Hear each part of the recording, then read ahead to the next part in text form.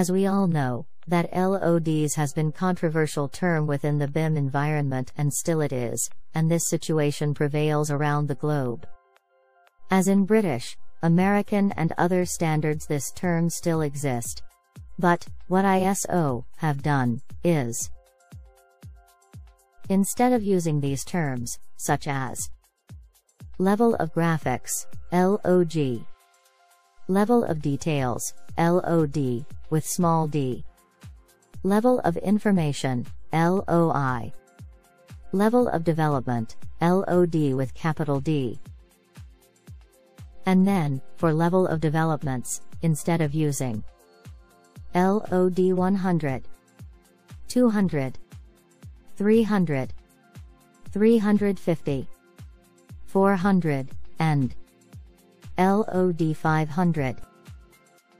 It is replaced with Level of Information Need, LOID. ISO 19650 introduces the term, Level of Information Need, or LOIN, to define information services. LOIN is not a simple replacement for the LOD concept. The LOIN is intended for clients, who define their information needs for project management. Within the level of information need, LOIN concept, various metrics can be used to measure the information to be delivered, in particular, geometry, alphanumeric information and documents, for example, unstructured information such as plans, reports, photographs and so on. Alphanumeric information should be considered at least as important as geometry. And all of these things get done in stages. And to define the stages, the term data drop can be used. As an example, to accomplish the project, particularly total six stages are defined. So they may denote it as Data drop 1 for concept design, Data drop 2 for schematic design, Data drop 3 for detail design, Data drop 4 for detailed elements production, Data drop 5 for fabrication and assembly, Data drop 6 for as built. Let's look at data drop 1.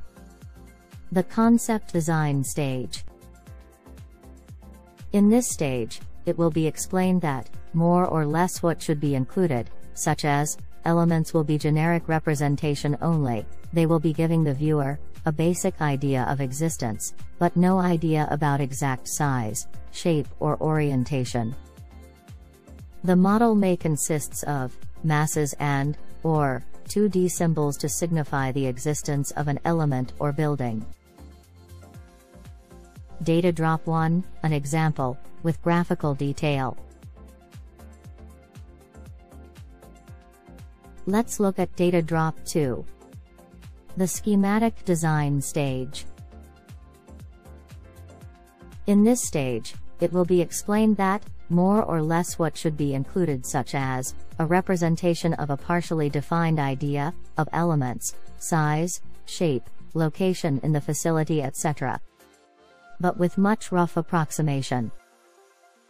Alternatively, a general model, where elements are modeled with approximate quantities, size, shape, location and orientation.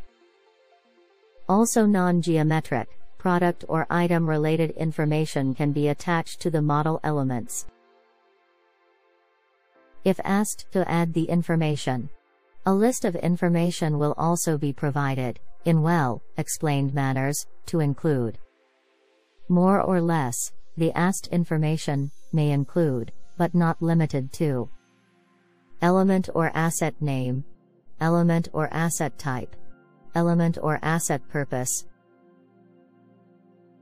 Data drop 2, an example, with graphical detail. Data drop 2, an example, with data detail. Let's look at data drop 3, the detailed design stage.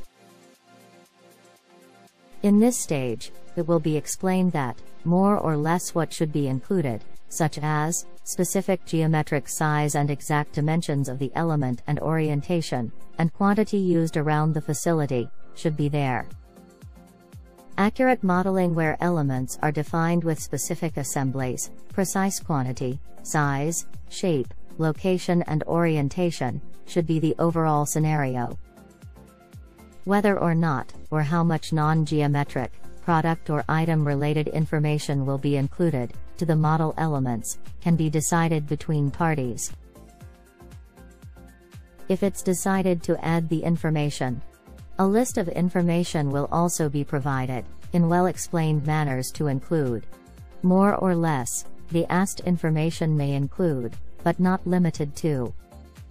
Element or asset name, element or asset type, element or asset purpose, element or asset properties, element or asset manufacturer, element or asset method statement, element or asset size, element, asset location, etc. Data drop 3, an example, with graphical detail. Data drop 3, an example, with data detail. Let's look at Data Drop 4. The Detailed Elements Production Stage. In this stage, it will be explained that, more or less what should be included, such as, how the component will be connected to nearby elements. It includes model detail and element that represent how building elements interface with various systems and other building elements, with graphics, such as 3D and definitions and statements. Whether or not, or how much non-geometric, product or item related information will be included to the model elements, can be decided between parties. If it's asked to add the information, a list of information will also be provided, in well-explained manners to include. More or less the asked information may include, but not limited to. Element or asset name, element or asset type, element or asset purpose, element or asset properties, element or asset manufacturer, element or asset method statement, element or asset location, element or asset placement, element or asset fixation, element or asset supplier, element or asset manufacturer, element or asset size, etc. Data drop 4, an example, with graphical detail.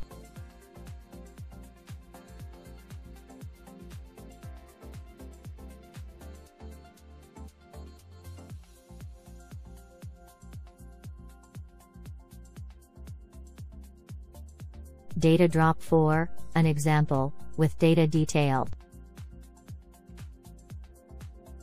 Let's look at Data drop 5.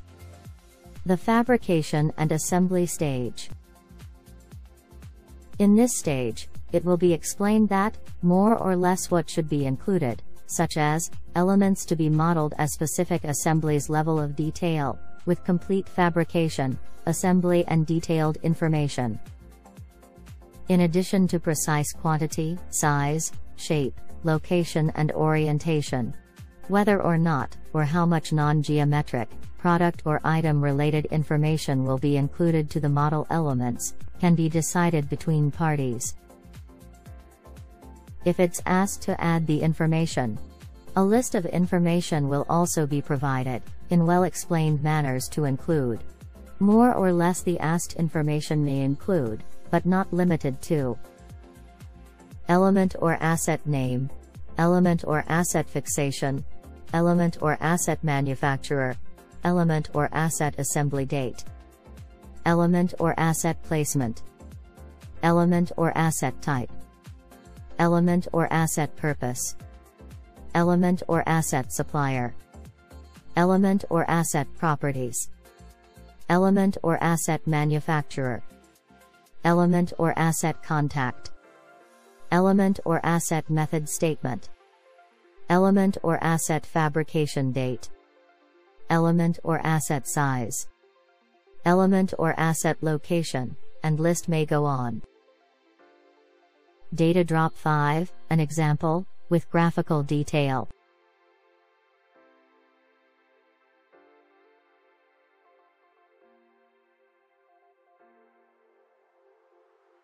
Data drop 5, an example, with data detail. Let's look at data drop 6. The as-built stage. In this stage, it will be explained that, more or less what should be included such as, elements will modeled as constructed assemblies for maintenance and operations. In addition to actual and accurate in size, shape, location, stage of the installation with verified information, quantity and orientation. Non-geometric, product or item related information to the model elements can be included for assets management, facility management and building life cycle management. If decided between parties. If it's decided to add the information. A list of information will also be provided, in well explained manners to include. More or less the asked information may include, but not limited to. Element or asset name, element or asset supplier, element or asset contact, element or asset placement. Element or asset type. Element or asset fixation. Element or asset purpose. Element or asset properties. Element or asset manufacturer. Element or asset manufacturer. Element or asset method statement. Element or asset fabrication date. Element or asset size. Element or asset assembly date. Element or asset location. Element or asset warranty start. Element or asset warranty end. And list may go on. Data drop 6, an example, with graphical detail.